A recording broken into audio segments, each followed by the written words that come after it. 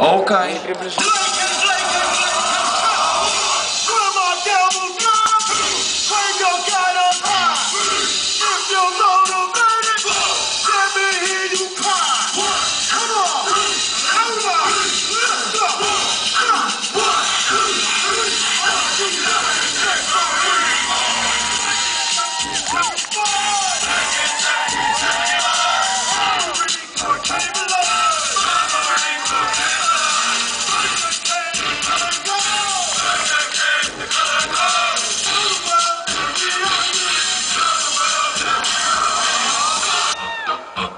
dedicated to all the DJs all over the world, man.